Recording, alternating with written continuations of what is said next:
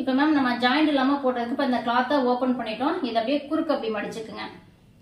மடிச்சுட்டு இதை வந்து இப்போ இப்படி மடிக்கிறோம். இப்போ பார்க்கும்போது நமக்கு இந்த சைடு தானே கட்டிங் இருக்கனால நம்ம இப்படி கூட இப்படி மடிச்சுக்கலாம். மேம் புரியுதுங்களா? மறுபடியும் இன்னொரு டைம் சொல்லவா? அதாவது நீங்க ஃப்ரண்ட் கட் பண்ணதுக்கு அப்புறம் ஆனா கண்டிப்பா வந்து உங்களுக்கு துணியோடைய வித்து வந்து கொஞ்சம் அதிகமா இருக்கணும். ஸ்லீவோடைய லென்த் வந்து பாத்தீங்கன்னா ஒரு லிமிட்டுக்கு மேல வந்து பண்ண முடியாது. இப்ப எனக்கு வந்து பாத்தீங்கன்னா இது கரெக்டா ஒரு மீட்டர்னா ஒரு மீட்டர் இல்ல ஒரு மீட்டர் கிட்டத்தட்ட நாலஞ்சு பாயிண்ட் எனக்கு எச்சா தான் வந்து இந்த மெட்டீரியல் வந்து இருந்தது. இப்ப இத வந்து பாத்தீங்கன்னா இப்படி ஓப்பனா இருக்க கிளாத்தை இப்படி ரெண்டாம் அடிங்க. இந்த சைடு வந்து பாத்தீங்கன்னா கரப்பகுதி இருக்கு. இப்படி ரெண்டாம் அடிச்சுட்டு இந்த பீஸை இப்படி மடிச்சுக்குங்க. அதாவது இந்த நமக்கு இந்த துணி இல்லாம இருக்கு பாருங்க. இது வந்து மேல இருக்க மாதிரி வச்சுக்குங்க. வேற ஒன்றும் இல்லை. மேலே இருக்க மாதிரி வச்சுட்டு இப்போ இதை வந்து இப்படி கொஞ்சம் கொஞ்சமாக நகர்த்தி சின்னது பண்ணிக்கிங்க.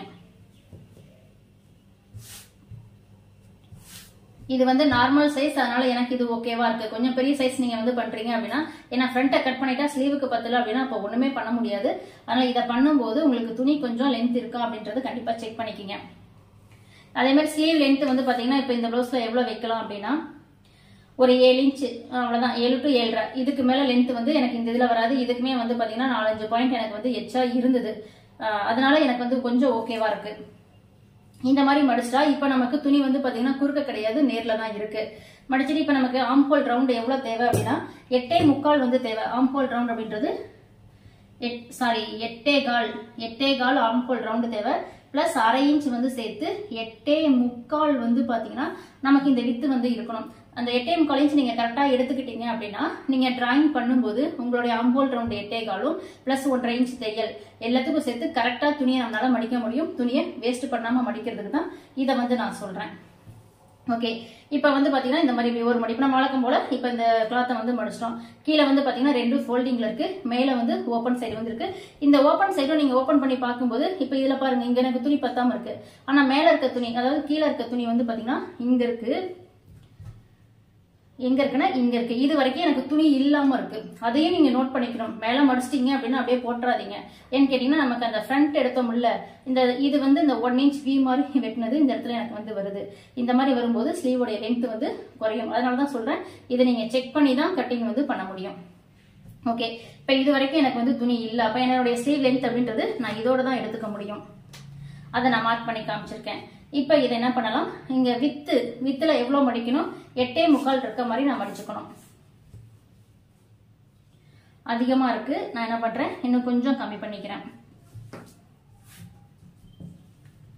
இப்ப டேப்பை வச்சு எனக்கு எட்டே முக்கால் எட்டே முக்கால்ங்கிறது எனக்கு ஒன்பது இன்ச் இருக்கு. பரவாயில்ல ஒரு கால் இன்ச் வந்து அதிகமா இருந்தா பரவாயில்ல. ரொம்ப துணி வந்து விட வேண்டாம். ஓகே இப்ப நான் தேவையான துணியை கரெக்டா வந்து மடிச்சிட்டேன். இங்க ரெண்டு சைடு ஃபோல்டிங் இருக்கனால நீங்க ராயேஜ் வந்து போட தேவையில்லை. அரை இன்ச் மட்டும் கீழே வந்து மடிச்சு தைக்கிறதுக்காக லைன் வந்து போட்டுக்கலாம். லைனிங் ப்ளவுஸ் அப்படின்றனால அரை இன்ச் எடுத்துக்கிறேன் நார்மல் ப்ளவுஸ்ல பண்றீங்கன்னா ஒரு ஸ்கேல்ல லைன் வந்து எடுத்துக்கங்க இப்போ ஸ்லீவோடைய லென்த் நம்ம வந்து ப்ளவுஸ்ல எடுத்தது ஆறரை அரை இன்ச் எச்சா சேர்த்து ஏழு வந்து இருக்கணும் ஆனா எனக்கு ஸ்லீவ் லென்த் வந்து கொஞ்சம் கஸ்டமர் அதிகமா கேட்டிருக்காங்க அப்படின்றனால நான் வந்து ஏழு ஸ்லீவ் லென்த் வச்சுக்கிறேன். அரை இன்ச் சேர்த்து ஏழரை அப்படின்றது எனக்கு ஸ்லீவ் லென்த் வந்து வேணும். ஸ்லீவ் லென்த் வந்து எனக்கு ஏழரை அரை இன்ச் தையலுக்கு சேர்த்துனா எட்டு இன்ச் வந்து வேணும். இப்போ எட்டு இன்ச் அப்படின்றது பார்த்தீங்கன்னா எனக்கு இங்கே வருது. ஆனால் துணி இதோடவே எனக்கு வந்து கட் ஆகுது. அப்போ நான் இதை எட்டு இன்ச்சுக்கு வந்து போட முடியுமான்னு கேட்டிங்கன்னா போட முடியாது. அப்போ என்ன பண்ணலாம்? இந்த சைடு நமக்கு துணி இருக்கு. இந்த சைடு கொஞ்சம் துணி இருக்கு அப்படின்றனால நான் என்ன பண்ணிக்கிறேன்? இந்த துணியை அந்த கட்டிங்கில் போச்சுல்ல அதை கொஞ்சம் தள்ளி வர்ற மாதிரி வந்து வைக்கிறேன். கொஞ்சம் இப்படி இழுத்து நீங்கள் மடிக்கும் போது உங்களுக்கு என்ன ஆகும்? இப்போ எனக்கு இந்த துணி வந்து இங்க வந்துருச்சு. இப்போ இதுல வந்து வளைவு வந்துடும் இந்த வளைவு வரும்போது இந்த கட்டிங்ல நமக்கு அந்த துணி வந்து போயிடும் அதனால கொஞ்சம் உள்பக்கமாக இழுத்துக்கிட்டேன்.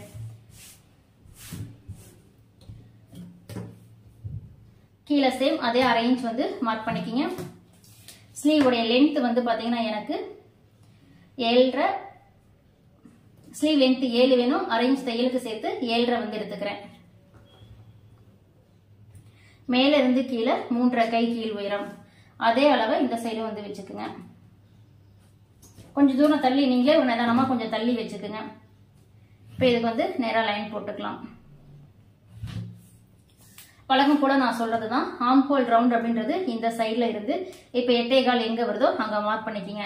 இது எட்டே கால் மட்டும் இல்லை இந்த மாதிரி நீங்கள் மார்க் பண்ணும்போது உங்களுடைய ஆம் ஹோல் ரவுண்டு பன்னெண்டாக இருந்தாலும் சரி பதிமூணா இதெல்லாம் மேக்ஸிமம் அதிகம் வராது.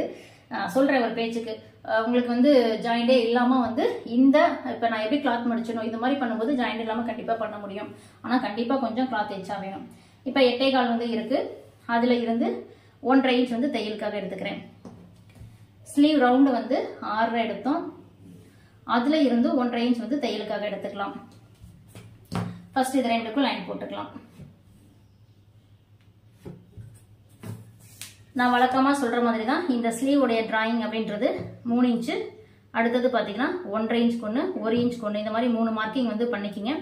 இது வந்து மூணு இன்ச்சு இது வந்து ஒன்றரை இன்ச்சு இது வந்து ஒரு இன்ச்சு மூணு இன்ச்சுக்கு கீழ் பக்கமாக இந்த மாதிரி உள் பக்கமாக டேப் வச்சுட்டு ஒரு அரை இன்ச் அல்லது முக்கால் இன்ச் மார்க் பண்ணிக்கிங்க. நான் இந்த க்ளோஸ்க்கு என்ன பண்ணுறேன் ஒரு முக்கால் இன்ச் மார்க் பண்ணிக்கிறேன். முக்கால் இன்ச் வந்து இங்கே இருக்குது இந்த முக்கால் இன்ச்சும் இந்த ஒன்றரை இன்ச்சையும் இந்த மாதிரி ஒரு ஜாயிண்ட் கொடுத்துருங்க.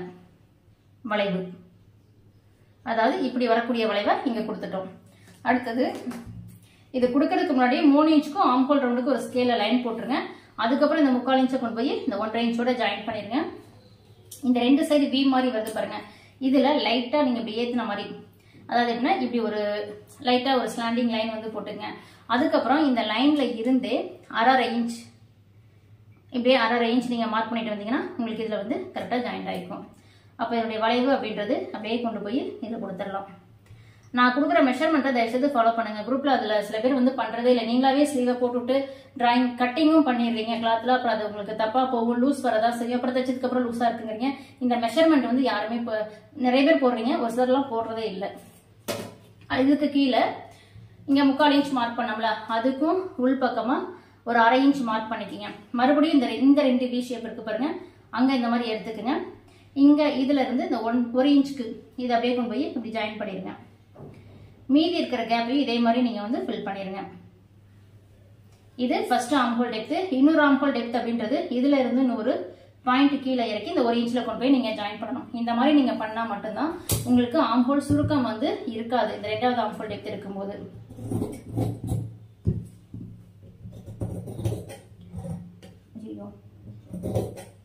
ஃபஸ்ட்டு மேலே இருக்கிறத கட் பண்ணணும்.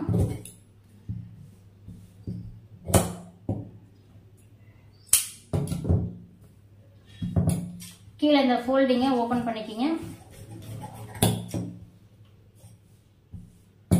இதை ஓப்பன் பண்ணிட்டு இங்க இருக்கக்கூடிய ஆம்புல் டெப்த்து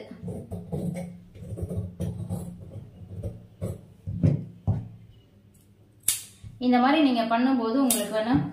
இந்த சைடு வந்து பாத்தீங்கன்னா ஆம்புல் சுருக்கம் வந்து கண்டிப்பா இருக்காது கண்ட்ரோல் ஆகும். இதே மாதிரி நீங்க வந்து ட்ரை பண்ணி பாருங்க. அடுத்தது பாத்தீங்கன்னா பட்டி அளவு மட்டும் நம்ம போட்டுக்கலாம். பேக் சைடு பீஸ் மேல ஃப்ரண்ட் பீஸை நீங்க கரெக்டா வச்சுக்கோங்க. பட்டிக்கு நீங்க துணி நம்ம விட்டுருந்தோம்ல அந்த துணியை நம்ம வந்து கட் பண்ணி எடுத்துக்கலாம். இதை கட் பண்ண வேண்டாம் கிராஸ் பீஸ் கூட வந்து யூஸ் ஆகும். இந்த சைடு வந்து பாத்தீங்கன்னா எனக்கு கரப்பகுதி வந்து இருக்கு. இதை நம்ம இந்த இடுப்பு சுற்றளை வச்சு மார்க் பண்ணோம்ல கட்டிங் பண்ணும்போது அந்த அளவு தான் அந்த துணி தான் இதுல வந்து இப்ப பட்டிக்காக வந்திருக்கு. நான் ஏற்கனவே சொல்லியிருக்கேன் இந்த துணி வந்து பட்டிக்காக வரும் அப்படின்னு சொல்லியிருந்தேன்ல அந்த துணி தான் கீழே அரேஞ்ச் மடிச்சு தைக்க லைன் வந்து போட்டுங்க ஃபர்ஸ்ட் பட்டியோட லென்த் வந்து எடுத்துங்க. பட்டியோட லென்த் எப்படி எடுக்கிறது அப்படின்னா இந்த சைட்ல இருந்து இந்த சைடு வரைக்கும் இந்த சிசர் கட் வரைக்கும் பாருங்க மூனை கால் இருக்கு. அந்த மூனை காலை இதுல அப்படியே வச்சு ஒரு மார்க் பண்ணிக்கிங்க. அடுத்தது இந்த நடுவில் இருக்க வியை விட்டுருங்க. அடுத்தது இந்த சைடு திருப்பிட்டு இதுல இருந்து இந்த சிசர் கட்ல இருந்து இந்த லாஸ்ட் வரைக்கும் பாருங்க. அஞ்சரை வந்து வருது. அஞ்சரையில அரை இன்ச் எக்ஸ்ட்ரா சேர்த்து ஆறு இன்ச் எடுக்கணும். ஆறு இன்ச் எங்க இருந்து எடுக்கணும் அப்படின்னா நம்ம இங்க மார்க் பண்ணோம்ல மூணே கால் இதுல இருந்து தான் ஆறு இன்ச் இப்போ நான் டேப்பை இதில் வச்சுட்டு ஆறு இன்ச் இங்கே வந்து மார்க் பண்ணிக்கிறேன். இப்போ பட்டி லென்த் வந்து எடுத்துட்டோம். இப்போ பட்டி லென்த் வந்து டோட்டலாக எவ்வளோ இருக்குன்னு பார்த்தீங்கன்னா ஒன்பதே கால் இன்ச் வந்து இருக்கு. ஓகே இப்போ பட்டியோட உயரம் மார்க் பண்ண என்ன பண்ணுறது அப்படின்னா நீங்கள் இன்ச் டேப் வச்சுட்டு இந்த சைடில் ஒரு அரை இன்ச் மார்க் பண்ணுங்க. அதே மாதிரி இந்த சைடில் ஒரு அரை இன்ச் இந்த சைடில் ஒரு அரை இன்ச் மார்க் பண்ணிக்கோங்க. இதில் இருந்து ஃபர்ஸ்ட் படியுடைய உயரம் எடுக்கணும். நீங்கள் என்ன பண்ணுங்க இந்த கீழே லைன் போட்டிருக்கோம்ல இதை வந்து மடிச்சிடுங்க. ரொம்ப புதுசா இருக்க எங்களுக்கு கன்ஃபியூஸ் ஆகுது அப்படின்னா அந்த லைனை மட்டும் மடிச்சு விட்டுட்டு இப்போ நீங்க பட்டி உயரம் வந்து எடுத்துக்கோங்க. இப்போ மேலே இருந்து நான் எடுக்கும்போது எனக்கு வந்து பார்த்தீங்கன்னா ரெண்டே முக்கால் ஒரு பாயிண்ட் தான் இருக்கு. ஆனால் நான் அதை என்ன பண்றேன் மூணா வந்து மார்க் பண்ணிக்கிறேன். ஒரு பாயிண்ட் எல்லாம் நீங்க வந்து ரவுண்ட் பண்ணி எடுத்துக்கலாம். ரெண்டாவது இந்த அளவு வந்து பாத்தீங்கன்னா எனக்கு ஒன்றரை இன்ச் தான் இருக்கு. இது காமனா ஏன் ஒன்றரை இன்ச் வருது அப்படின்னா பேக் ஹைட்ல இருந்து ஒரு இன்ச் மைனஸ் பண்ணி ஃப்ரண்ட் ஹைட் வரும்போது உங்களுக்கு வந்து ஒன்றரை ஒன்னே முக்கால் அப்படிதான் வரும். அப்படி வரும்போது நீங்க காமனா ரெண்டரை வந்து எடுத்துக்கலாம். ரெண்டரை வந்து நான் இங்க போட்டிருக்கேன். அதுக்கும் கீழே இறக்கி ஒரு கால் இன்ச் நான் இறக்கி மார்க் பண்ணிக்கிறேன். எதுக்காக அப்படின்னா இந்த பட்டி ஷேப் கொடுக்கறதுக்காக. அந்த வளைவு நல்லா வரணும் அப்படின்றதுக்காக. அடுத்தது மூணாவது மூணாவது அளவு வந்து பாத்தீங்கன்னா எனக்கு மூணு மூணு ஒரு பாயிண்ட் வந்து இருக்கு. அந்த மூணு ஒரு பாயிண்ட் இருக்கு அப்படின்னா அந்த மூணே காலாக நான் வந்து மார்க் பண்ணிக்கிறேன். இந்த சைடு நான் என்ன பண்றேன்? ஒரு கால் இன்ச் வந்து மேலே ஏத்திக்கிறேன். இது எதுக்காக அப்படின்னா இந்த இடம் வந்து அந்த ஷேப் வரணும் அப்படின்றதுக்காக. இப்ப கீழே ரெண்டே காலுக்கு மேலே போட்ட மூணே காலுக்கு ஒரு லைன் போட்டுக்கிறேன். நீங்க ஃப்ரண்ட்ல வேணுமா இந்த அட்ஜஸ்ட்மெண்ட் பண்ணலாமே தவிர பேக்ல போய் பண்ணிடாதீங்க பண்ணக்கூடாது. ஏன்னா சைட்ல வந்து அப் அண்ட் டவுன் ப்ராப்ளம் வந்து வந்துடும் நான் சொல்றது புரியல அப்படின்னா வீடியோல வ- வரும்போது பாருங்க நல்லா புரியும். நம்ம பட்டி வரைக்கும் இவ்வளவு துணி தேவைப்படும்னு சொல்லி நம்ம கட்டிங் போடும்போதே வந்து விட்டுருக்கோம். ஆனா அதுக்கு முன்னாடியே நமக்கு வந்து முடிஞ்சிருச்சு.